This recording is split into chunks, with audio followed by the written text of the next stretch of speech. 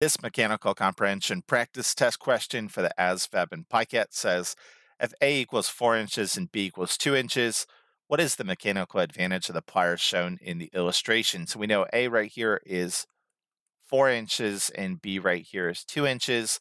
Now for the ASVAB and PiCAT, you're not going to be given a reference sheet, so you have to know this formula right here. Uh, this one's not hard to memorize. In fact, you should uh, be able to solve this one intuitively.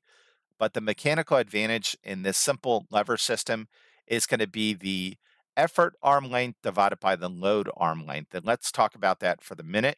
Uh, where A and B meet right here is called the fulcrum. And uh, not surprisingly, where you squeeze these pliers is where you're going to be applying your effort. So what is the effort arm length? It's the distance from here to our fulcrum, and you can see that that is four inches. What is the load arm length? Well, these pliers are squeezing this right here. So it's going to be the distance from this load right here uh, to the fulcrum right here, which as you can see is two inches. So the mechanical advantage in this case is four divided by two, which is two. So this one is B.